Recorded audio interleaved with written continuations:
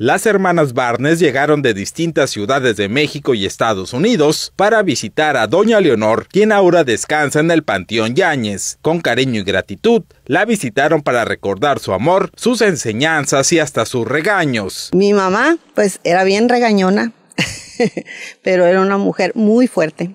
Tenía muy buen carácter como para dirigirnos y gracias a Dios todas nuestras hermanas y nosotros fuimos muy buenas hijas y porque ella fue una madre muy buena y muy seria, nos llevaba por caminos correctos y yo pienso que fue la mejor mamá que Dios nos pudo haber dado.